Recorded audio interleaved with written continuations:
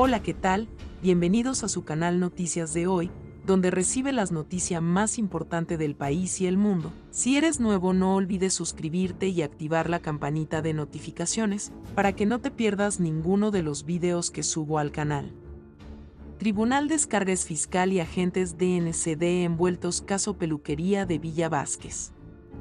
La exfiscalizadora de Montecristi, Carmen Lizeth Núñez, y los cuatro agentes de la Dirección Nacional de Control de Drogas, DNCD, que fueron acusados de poner droga en una peluquería de Villa Vázquez en el 2019, fueron descargados ayer por el Tribunal Colegiado de Primera Instancia del Departamento Judicial de Montecristi.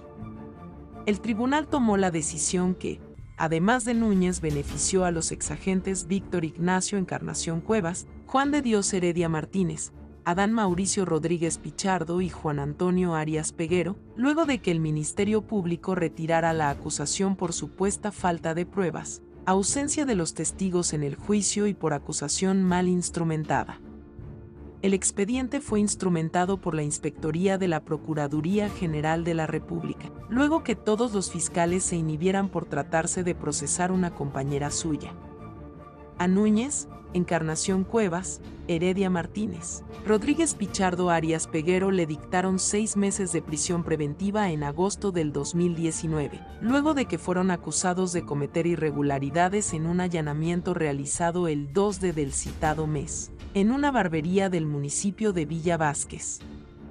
El hecho, ocurrido en la peluquería El Maná, quedó captado en cámara y en el audiovisual se observaba a un agente de la DNCD lanzar una sustancia en un zafacón del establecimiento, que los dueños alegaban que se trataba de sustancias controladas. Los imputados solo duraron cuatro meses en la cárcel, ya que en diciembre de ese año le fue variada la medida de prisión preventiva por prisión domiciliaria a Núñez, en tanto que en el caso de los exagentes de la DNCD, el tribunal dispuso el pago de una garantía económica de RD dólar 40 mil pesos a cada uno, impedimento de salida del país y presentación periódica ante el despacho de la Procuraduría General de la Corte de Apelación de Montecristi.